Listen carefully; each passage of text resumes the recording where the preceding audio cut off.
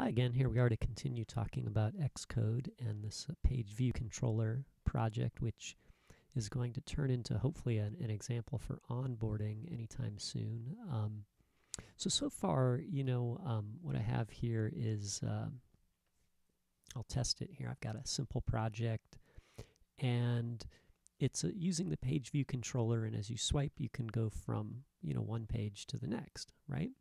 And on the last page, there's a button at the bottom here called Done.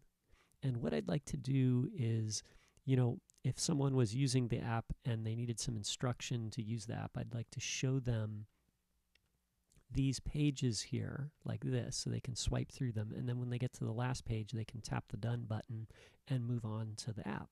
Okay. Right now, my page view controller is using the um, the page curl I'm going to switch it. I'm going to click on page view controller here and then switch the transition style to scroll.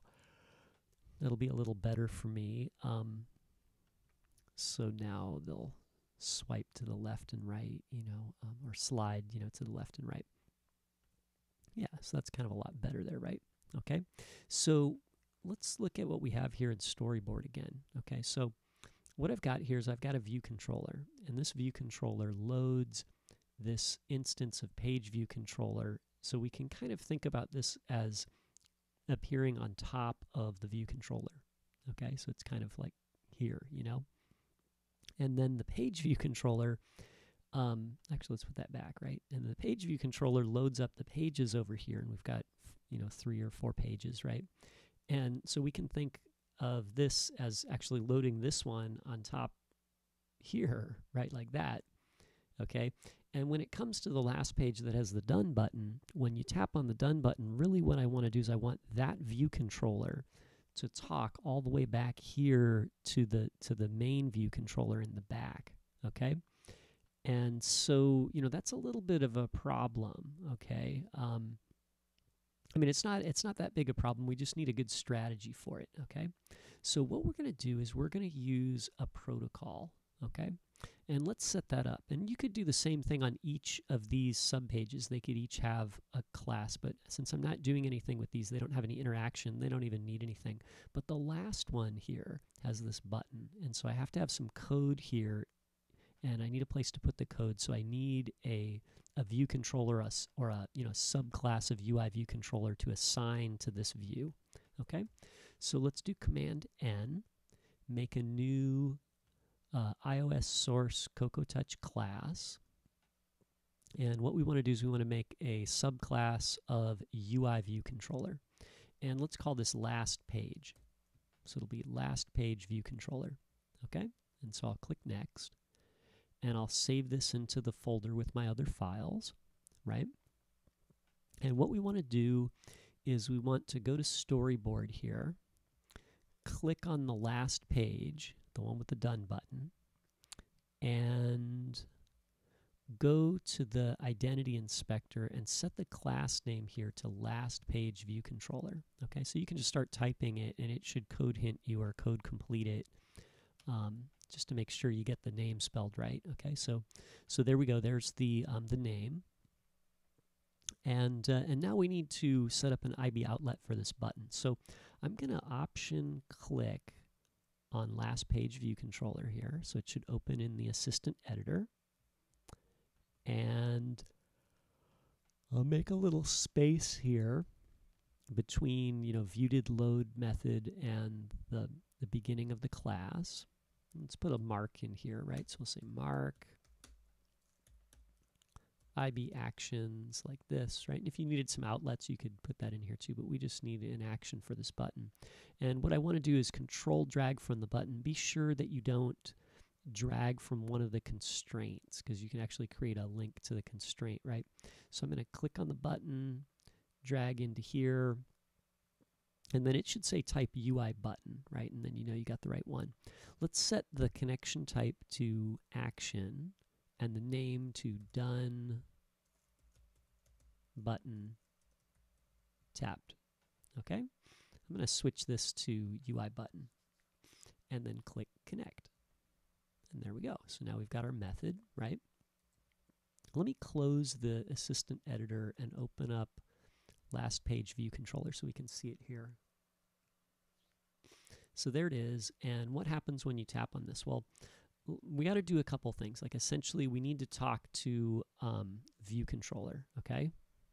So we want to send a message to view controller. Let's do send message to view controller, right? And view controller for us is this file right here, view controller, right?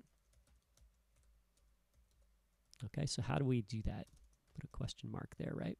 So what we're going to do is we're going to give this guy a protocol.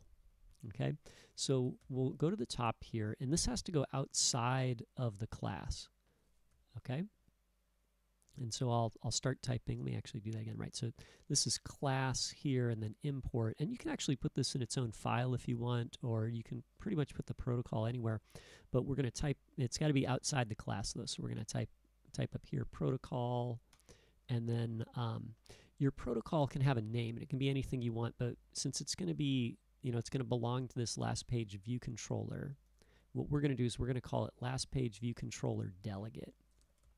So anybody that wants to work with last page view controller delegate is going to um, fit the description that we put into the protocol. Okay? So the protocol is essentially saying that um, something has the description that we put inside here, okay? And the description is going to be properties and methods that that something can have. So anything that wants to be declare itself as last page view controller delegate will have to have the, the properties and methods that we define inside the protocol. Now, when you define the things in the protocol, the properties you do you do not assign a value, you just give them a type. And for methods, you don't assign the function body to the method. You just assign the name of the method and the parameters that it takes and the, the values that it returns. Okay. So in our case, what we want to do is we want to define one function called, um, how about let's call it um, uh, last page done. Okay. So that's a method and it doesn't return a value and again, in the protocol, we don't include the function body, so we don't use the parentheses here, and we don't put any code in there, okay? And the idea is that um, when something declares itself as a last page view controller delegate, then it must implement this function exactly as it's described here. Or it must implement a, fu a function that matches this description you know, the code body of that function can be anything you want, right? So we're just saying it's going to have this function, and that way we can call on that function from here, right? Knowing that that it's going to match here because it'll it'll have this this um, protocol assigned to it, right? So I'll show you how we're going to do that, right? So what I'm going to do is I'm going to go back to View Controller, and I want View Controller to um, to be a last page view controller delegate, right? So I'm going to go up here, and these are all the protocols that we currently have, right? Okay, so we're currently we're a UI view controller delegate. We're a, or no, we're, that's our subclass, and then we're a, a UI page view controller data source and a UI page view controller um, delegate, right? And what I'm going to do is I'm going to put a comma here, and then say last page view controller delegate. Okay. So now view controller must implement a method called last page done. Okay? And when we look at view controller, now you can see I'm getting an error, and the error is going to tell me that, hey, you know, view controller does not conform to the protocol last page view controller delegate, right? Yeah, that's because we didn't implement that, that function yet. So let's put that in here. Let's put a mark in here. We'll say mark um, last page view controller delegate okay? Um, methods how about that right? And then we'll say um, I'm going to type in last page done right? So as, as soon as I start typing last page done you can see that the method shows up because it's one of our delegate protocols and then Xcode sees that that's something that we should have right? So if we hit return it'll fill it in for us. So there we go. Now the error goes away. and then we can do whatever we want here. For right now, I'm just going to put in a print statement, right? So ideally what we want to do here is we want to get rid of the page view controller and then load up our app or display our app, okay? Um, so I'm going to just put a message here and I'll say um, last page, uh, actually let's do this. Let's say um, view controller says last page done, okay? So right now, um, you know, it'll just print this message in the console when we get this working, and then we'll know that it's working, right? And then from here, then we can do some other stuff later, okay? So this will be a good test for us just to make sure that our, our protocol and delegate are working, okay? So anyway, so we've got that set up. Now let's go back to last page view controller, okay? And what we need now is we know that our, our delegate will have this method, right? But now we need to, to have the delegate. We need a reference to the delegate object, which in our case is hopefully going to be, you know, view controller, right? So what we're going to do is we're going to give last page view controller a variable called delegate, okay? And we'll set the type here to a last page view controller delegate, okay? And I'll make it an optional, so I'll put an, a, question mark here, right? Okay, so this says that we've got a variable that references an object that is this type. So this means it can be any object as long as that object has the method last page done defined in it. Okay, so as long as the as long as the um, the object right here in delegate, it could be anything, right? But if it, it, it but it only works if it's got this method, right? Because a delegate is a last page view controller, right? And last page view controllers have to implement this. Okay.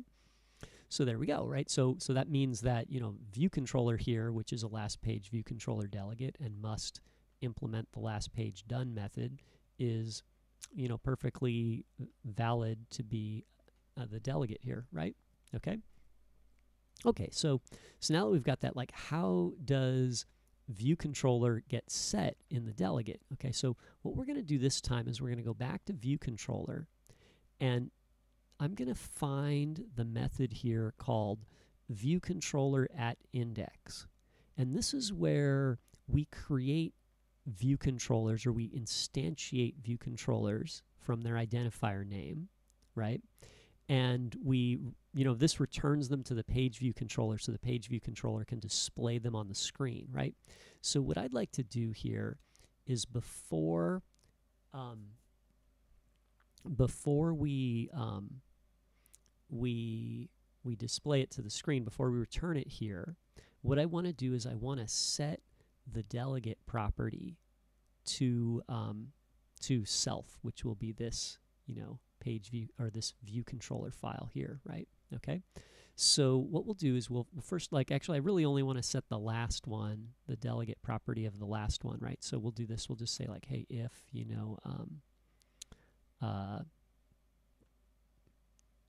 let's see, um, what's our last page? You know, like you could just test for the page name. So our past last page is called page four view controller. So why don't we do this? Why don't we just check it and we'll say like, hey, you know, if um, uh, pages, oops, uh, index equals last page or page four view controller, then we'll say um, view controller which should have a delegate property. Oh, wait, doesn't have the delegate, right? That's because over here, this is returning a UI view controller. It's not returning a last page view controller, right? So what we'll do is we'll, we'll cast this as a last page view controller. And I think we can do that with the parentheses here. So we'll say view controller as a last page view controller. And then we can say dot uh, delegate equals self. Okay? Um, maybe we should do this. Yeah, maybe we got to put the exclamation point in there. Maybe we should have just done if let here too, but uh, I'll leave it like that for now. Maybe we'll, maybe we'll rearrange that in a bit, but that should work for now. Um, so let's give it a test, right? So we'll uh, oh yeah, you know I got to do one more thing. Sorry. Um, okay, so let's let's go over that again, right? So so every time we create a view controller here, if it's the last one, right, and th that's the actually a last page view controller, right? Then we'll set the delegate property to self. And so when we look in here and we see that it has a delegate property, then you know this delegate property will be view controller here. And that is a last page view controller, right? So it will have this method last page done. And that means that over here, when you tap the done button, and this IB action for my done button right here is where we want to tap that done button and have it do something. So what we can do is we can say delegate, actually let's do this, let's do if um, delegate does not equal nil, then we'll say delegate, because remember I made this an optional, so you know in some cases it may not have a value, right? So we'll say delegate dot last page done, okay? And, uh, and there we go. So we'll, uh, we'll save this and we'll give it a test. So if this works, we should be able to, you know, tap, tap the button. It should find the delegate and then it should call up view controller here and print the message from last page done right here, okay? So we'll save that and we'll, we'll test our project here.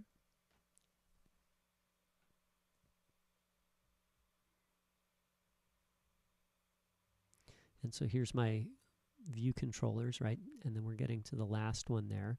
And then I'll tap on the done button and it prints out the message. View controller says last page done, right? So there we go. So that's pretty good so far. And you could use this to, you know, make anything happen. Like if, if these pages that you're scrolling through here need to communicate with the main, you know, container you know view controller or something you could you could do the same thing. In our case really just this last page needs to do something right? So when we tap on this last one we want to get rid of the the view here and swap it with you know our regular app and then have our user go on and and you know use the app after they've read all the instructions and whatnot okay? So anyway we'll do that in the next video and uh, thanks for watching